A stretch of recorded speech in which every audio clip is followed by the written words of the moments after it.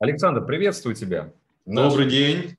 Долгожданная встреча, опять же, пометный анализ, технически фундаментальный. Смотрим на самые интересные э, по э, нашему видению финансового актива, которые э, в себе сейчас включают, заключают потенциал развития конкретной динамики. Давно мы с тобой не виделись. Опять же, за это время очень много чего на финансовых рынках случилось в плане фундамента уж точно. Мы видим мощные тренды, которые развиваются по рисковым активам, чего стоит только один американский фондовый рынок, который, вопреки всем самым э, жестким, скептическим э, прогнозам продолжает э, обновлять максимум. Опять же, S&P сейчас на хаях, Dow Jones тоже, NASDAQ чуть встает, но я думаю, что это временное явление, учитывая как э, лихо стал расти технологический сектор.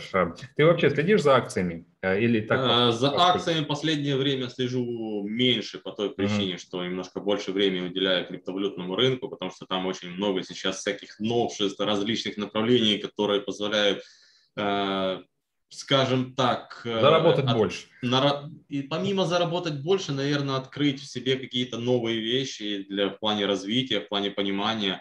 И поиска чего-то нового, что интересно, да, и там и mm-hmm. такие ситуации, как ICO выходит, IDO выходит, э, сектор NFT, который развивается, то есть это очень интересно для изучения, и поэтому больше внимания сейчас, наверное, уделяем там. Э, фьючерсный рынок российский смотрим, торгуем. Американский рынок, я слышу, конечно же, новости, я читаю, смотрю, да, я знаю, что у нас там идут э, новые максимумы по индексам, поэтому все стремится к тому, что под конец года мы увидим новые, новые цифры, плюс Тесла, которая там вчера перешагнула определенную цифру также, да, и стоимость акции это перешагнула даже там тысячу долларов.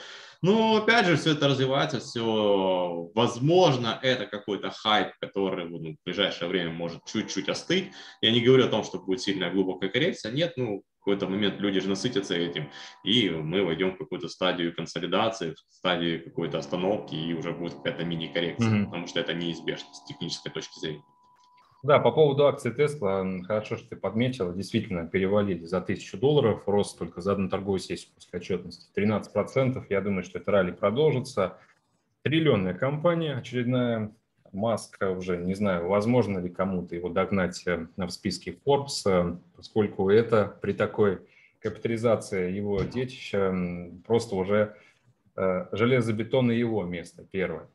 По поводу именно перспектив Тесла, если кому интересно, так пару слов. Опять же, сегодня видел очень хороший обзор на Bloomberg, что цели 1200-1300 это вполне реальные. Поэтому, друзья, если готовы все-таки, если вы верите и разделяете такие же оптимистичные ожидания относительно роста, прежде всего, этой корпорации, считайте, что у вас есть возможности побороться за более высокие уровни, тем более, что потенциал проекта 20-30%. В общем, технологический сектор действительно сейчас толкает эм, э, фондовые индексы э, вверх, потому что если взять то же самое S&P, это больше 30% Э, именно э, данного сектора корпоративного. Сезон квартальной отчетности, что не э, релиз, то классная статистика, которая гораздо лучше ожиданий. Кстати, на этой неделе отчитается больше 160 компаний, но по уже накопленному опыту за последние две недели, я думаю, что отчетности тоже будут неплохими, и фондовый рынок продолжит переписывать свои локальные максимумы. Вот тема с криптовалютным рынком действительно она сейчас не может не интересовать учитывая э, те уровни, на которых э, находится биткоин, учитывая возобновление роста э, многих альткоинов, эм, которые уже, некоторые из которых уже списывались со счетов, однако они доказывают последней динамикой, что рано. И, соответственно, при сохранении вот этого оптимистичного настроя, я думаю, что он сохранит после запуска еще вот этого ETF-фонда, который, в принципе, э, проложил э, дорогу к регуляторной среде сначала биткоин-дериватива, потом уже когда-нибудь, не за горами, уже будет решение э, с полноценной регуляцией для спотового рынка. В общем, власти начинают постепенно официально признавать, что биткоин с нами всерьез и надолго, и то, что комиссия американская СЕК после практически девятилетнего воздержания дала зеленый свет первому ETF, это большая победа для всех криптоэнтузиастов. Это Поэтому, позволило биткоину сходить на перехай, конечно же. Да, и цели сейчас 75, 80. И да, да, да. Это прям... Я, вот честно говоря, если биткоин, например, будет стоить 100 тысяч долларов под конец этой недели, признаться, даже не удивлюсь.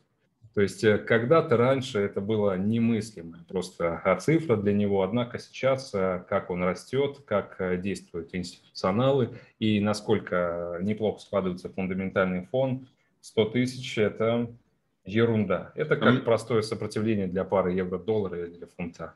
А мне показалось в продолжении своей фразы, если биткоин будет стоить 100 тысяч до конца этой недели, я думал, ты скажешь, то больше обзора мы вести не будем, и вообще меня больше здесь не будет.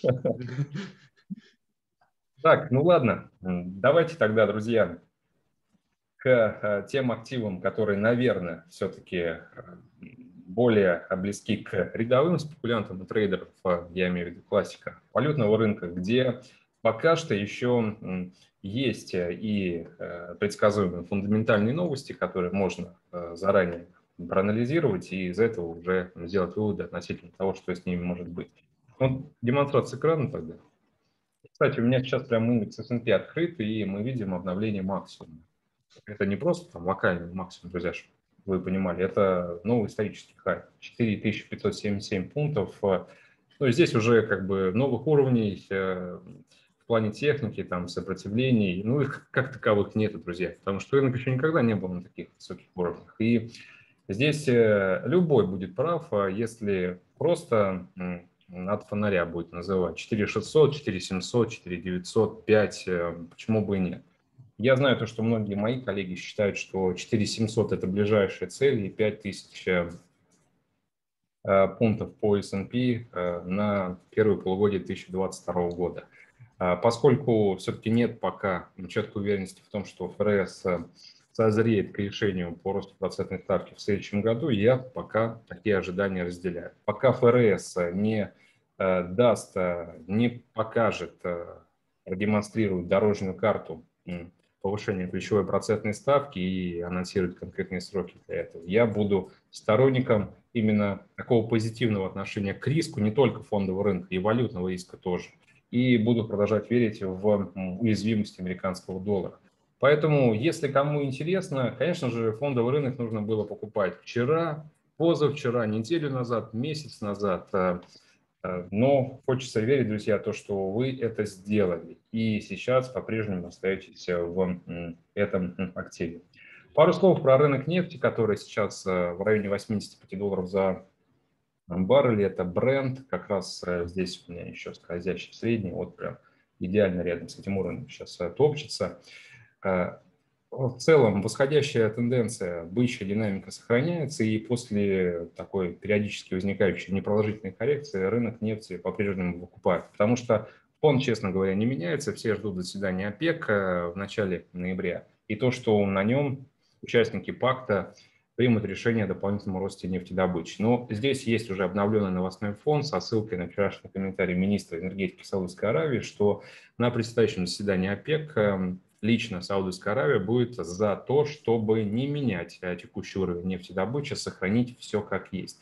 Потому что есть еще актуальные опасения из-за все-таки сохраняющейся проблемы с ковидом, и э, есть еще актуальные опасения, связанные со спросом. Поэтому уместно держать текущий уровень э, добычи до конца этого года. Если э, по итогам вот этого ноябрьского заседания мы поймем, что страны ОПЕК не готовы выкинуть на рынок больше нефти, то это будет очевидным усугублением вот этого глобального топливно-энергетического кризиса на фоне дефицита предложения.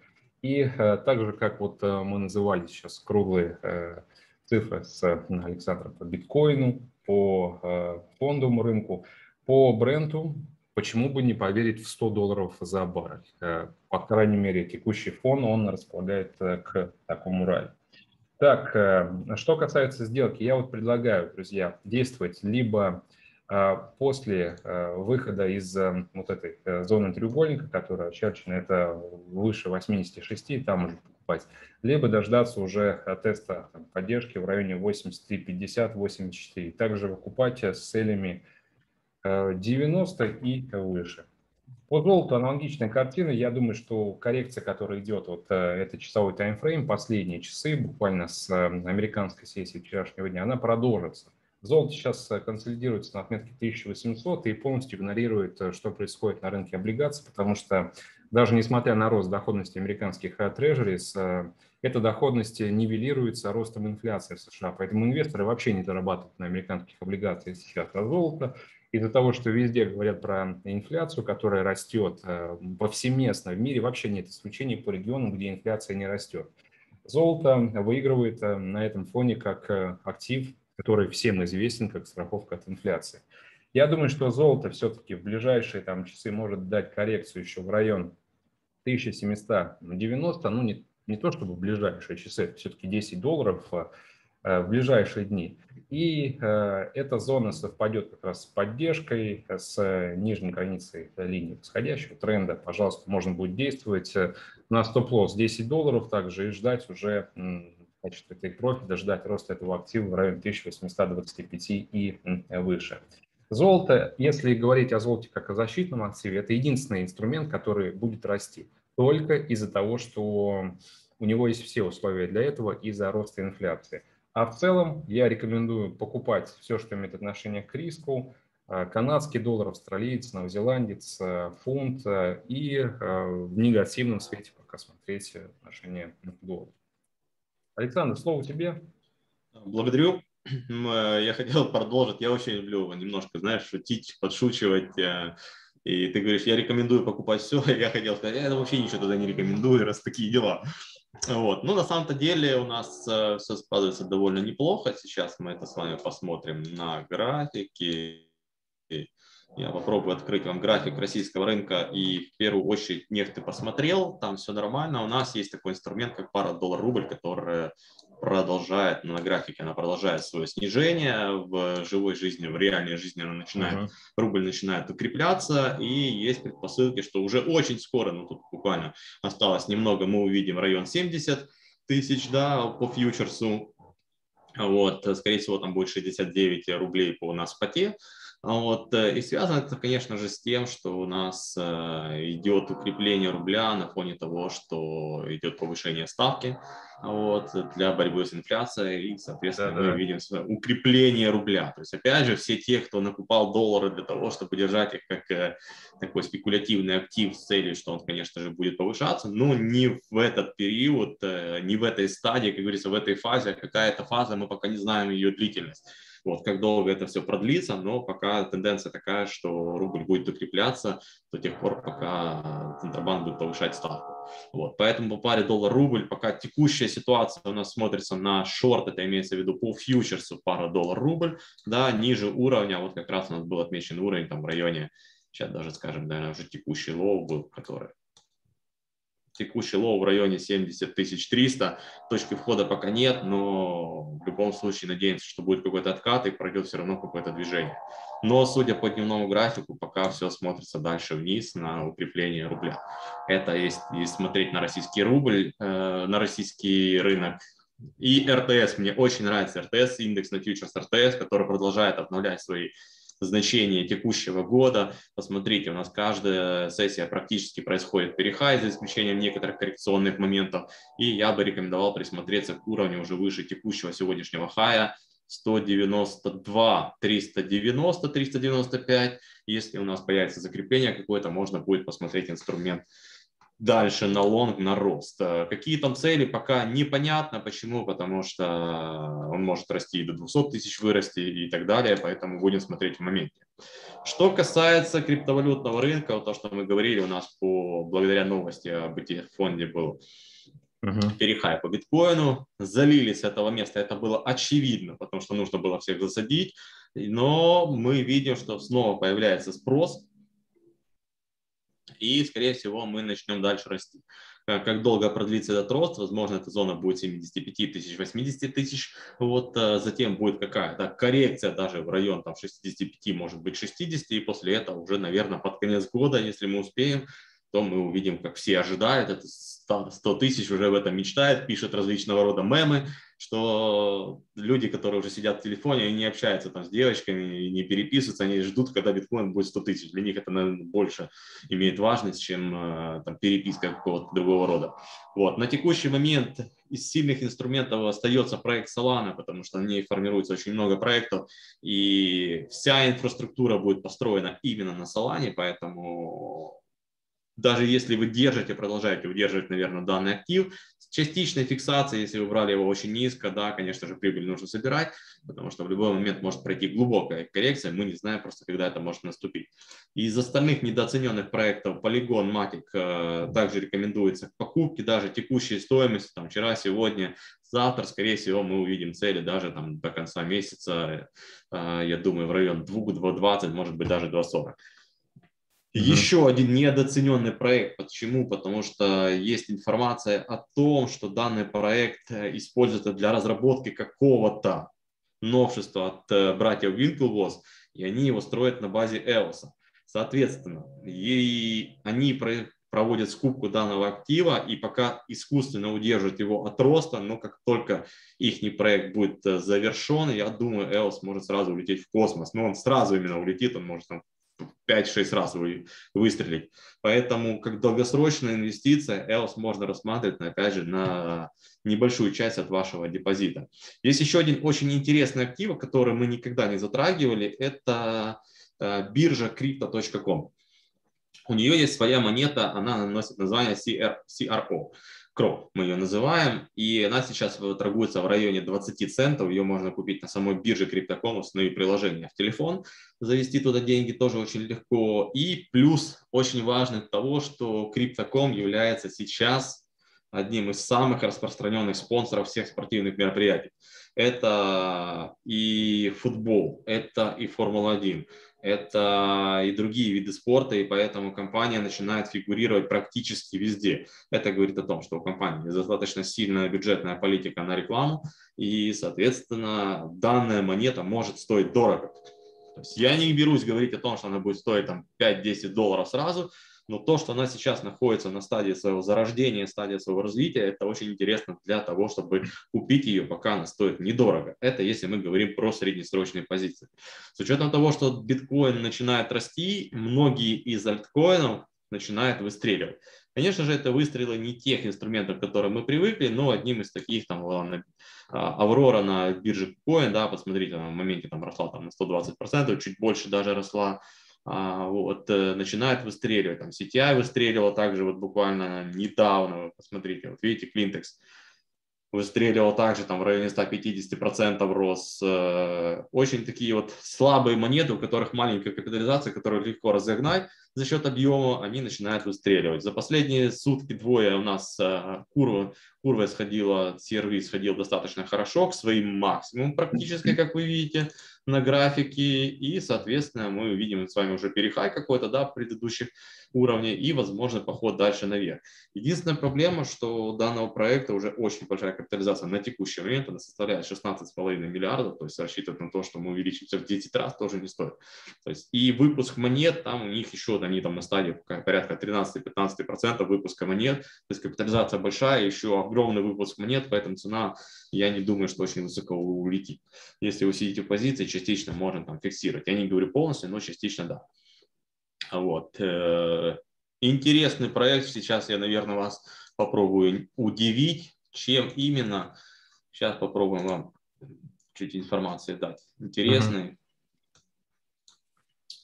Вот такие вот картинки сейчас спросят. Смешно, да, смешно, но вот за такие картинки я буквально вот до выхода эфира буквально общался с одной девочкой. Я с ней лично не знаком, я с ней переписываюсь только онлайн. Вот. Она вот такую картинку купила за полтора эфира, потому что ей нравится розовый цвет. Ну, Ей да. нравится розовый цвет, она купила. Э, этот проект уже ранее как бы фигурировал на OpenSea, его развивали, поэтому данные так называемые дудлы являются приоритетными для покупки среди, вот, э, я думаю, категории людей между 20 там, и 27 лет, э, годами. Mm-hmm. Так. То есть, mm-hmm. э, возможно, эти дудлы увеличатся в цене, конечно же, где-то в 2-3 раза точно. Вот, возможно, за каждого из них будут скоро давать там 8-9 эфиров. Вот это мы посмотрим с вами э, в будущем. Но это что касается рынка NFT, это то, что сейчас, как говорится, в тренде, то, что пушит и то, что как бы развивает. Поэтому, знаете, такой необычный выпуск у нас с вами, не только э, фундамент, техника и прочее, но мы затронули с вами криптовалютный рынок и затронули вот такие вот детские картинки, которые пользуются спросом. Ничего с этим не поделаешь, поэтому надо адаптироваться происходящее, как мне кажется, и надо быть в ногу с рынком, и надо перестраивать свою стратегию, увеличивая капитал, инвестиции, не только там Форекс, да, нужно всегда диверсифицировать. Американский рынок, Форекс, российский рынок, а, европейский рынок, криптовалютный, NFT, все нужно пробовать, иначе мы не узнаем, как, как э, могут развернуться события. Единственное, что я мог бы еще добавить, последнее, Э, ребята, которые с нами, с нами работают, они в курсе точно. Обратите внимание на данный инструмент. Он буквально недавно выходил на э, биржу, на ICO. Вот, но мы его покупали на стадии IDO, это когда идет пресейл. Вот. На текущий момент вот здесь у нас горит 19 тысяч процентов доходности. Я такого в своей жизни, честно, я много занимаюсь трейдингом, но я такого в своей жизни еще никогда не видел. При том, что лока... за такой короткий промежуток времени? Да, да. Ну вот с момента выхода там, вот 7 октября мы брали где-то 5 октября его, и он был у нас по цене, сейчас там цена 0,05, а мы брали 0,3015 у нас цена входа. Ну, сумасшедшие цифры. Э, но единственная проблема это то, что аллокация, когда ты участвуешь как в ICO, как в IPO, как в IDO, аллокация маленькая. То есть ты не можешь взять на большую сумму, но, соответственно, там с небольшой суммы тоже вырастает хорошая цифра, иногда бывает так. Поэтому это тот проект, который я могу подтвердить, потому что он у нас есть и в наших э, э, ресурсах, которые мы используем онлайн, то есть можно посмотреть. Это единственное, я пока вижу, что дальше будет рост, и вот пока, пока так, скажем так. Вот. Это из хороших новостей. Я думаю, немножко мы разбавили, разбавили рыночные ситуации нашими картинками и хорошими цифрами. Надеюсь, что у каждого из вас будут такие же показатели, и вы сможете быть счастливы от того, чем вы занимаетесь, потому что тренинг должен приносить удовольствие. Угу. Александр, спасибо тебе за такое напутствие. Действительно, проектов есть очень много, друзья. Э, очень полезный ресурс. Вот сейчас был э, CoinMarketCap. Э, Александр, пользуйтесь. Там можно в моменте посмотреть капитализацию. Я советую вам да, прикидывать да, общие да, показатели есть. капитализации. Просто соотнести с топовыми монетами, понять, ну, есть ли там возможность роста, насколько, когда, в принципе. Также не забывайте, что каждый бычий тренд, насколько бы он не был крутым, может очень быстро закончиться. Поэтому контролируйте риски, следите за загрузкой ваших депозитов, и если вы влазите какой-то проект, который вам на стадии просто знакомства кажется крайне перспективным, обязательно... Изучайте его. Конечно, да. И э, начинайте все-таки работать с тех сумм, которые в случае, опять же, негативного развития событий не станут для вас в качестве потерь фатальными. Это важно. Александр, еще раз тебе большое спасибо. Тебе как спасибо, энтузиасту только лишь попутного тренда, в данном случае роста всего, что имеет отношение к крипте, твоим альткоинам, которые в твоем портфеле, биткоинам в целом. Ну и давай следить э, вместе за тем, что происходит. Э, в следующий раз можем вернуться к теме, еще раз обсудить, посмотреть результат. Договорились. Спасибо. Спасибо. И тебе, Пока. и всем участникам желаю хорошего дня. До встречи. Спасибо.